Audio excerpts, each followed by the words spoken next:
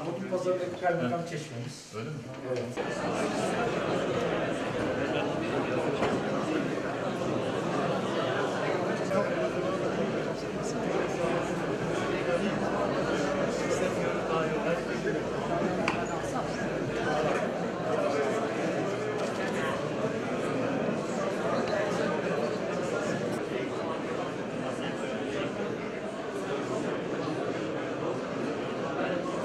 100. yıl ülkemiz için gerçekten ülkemiz Cumhuriyetimizin kuruluşunun 100. yıl dönümü. Bununla ilgili her kurumumuzun ve her bireyin kendine göre sorumlulukları var.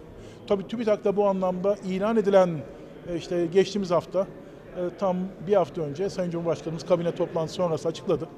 E, 2023 yılında ilk yerli ve milli gözlem uydumuz olan İmece'yi fırlatacağız. 15 Ocak tarihini de ifade etti. 15 Ocak'ta. Bu bizim için önemli bir sorumluluk. Yani TÜBİTAK tarafından geliştiriliyor.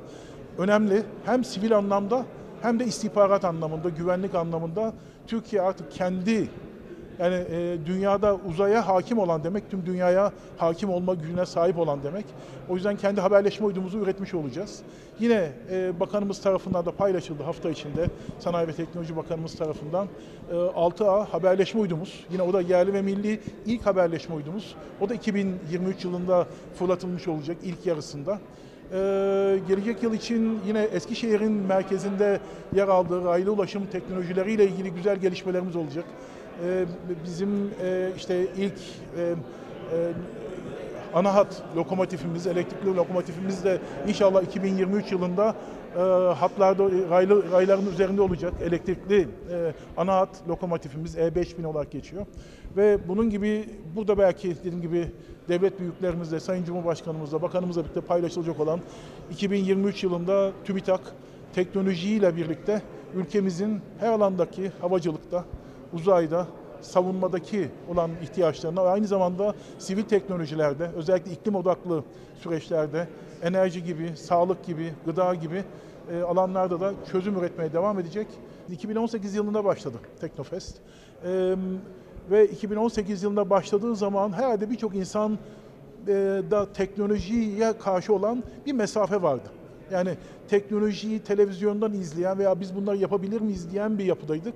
Ama Teknofest'le birlikte yani işte Cumhurbaşkanımızın da söylediği Teknofest gençliği kuşağı dediği artık bu teknolojilere seyreden, dokunan değil yapabilen bir gençlikle karşı karşıyayız. Ve bu yıl beşincisinde biliyorsunuz yani birinci yıl 500 bin, ikinci yıl 1 milyon 720 bin kişi gibi bir katılımcı oldu ve ikinci yılında dünyanın en büyük havacılık uzay ve teknoloji festivali oldu ve sonrasında Anadolu'ya yayıldı. İşte üçüncüsü Gaziantep'te, dörtte tekrar İstanbul, beşinci bu sene, bu sene Samsun'da. Samsun merkezi olarak gerçekleşecek 40 tane farklı yarışma var ve 40 tane farklı yarışmada işte 14'ünü TÜBİTAK tarafından koordine ediliyor ki ana e, koordinatörlerden biriyiz. O da bizim sorumluluğumuzu arttırıyor ve insana yapılan yatırımın en önemli geri dönüşünün olduğu ve siz de ifade ettiğiniz bu yıl Teknofest aynı zamanda Türkiye sınırlarının dışına çıkıyor ve 26-29 Mayıs tarihlerinde de e, Bakü'de, e, Azerbaycan'da Teknofest Azerbaycan olarak gerçekleşecek. TÜBİTAK olarak biz orada da varız. Orada da yer alacağız. Orada da yarışmalar var. Orada da e, işte onun üzerinde e, farklı yarışma kategorisi gerçekleşecek.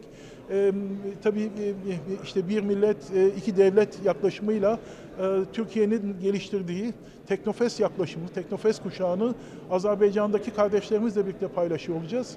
Ama 30 Ağustos 6 e, 4 Eylül tarihleri arasında da Türkiye'de Teknofest heyecanı yaşanacak. 5. Teknofest gerçekleşecek. Ben tüm e, dostlarımızı, teknoloji meraklılarını, e, ben de e, seyirci değil, ben de yapabilirim diyen tüm gençlerimizi, çocuklarımızı, ailelerimizi Teknofest'e davet ediyorum. Merhaba,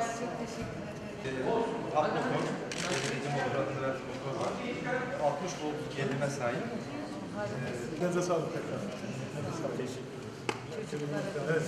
Evet hocam. E, laboratuvar tamamen dış donanım şeye ait. E, kamyon Aksaray'daki. Nerede Bölüm olarak Toyota'nın da çok görüyoruz. Onun için de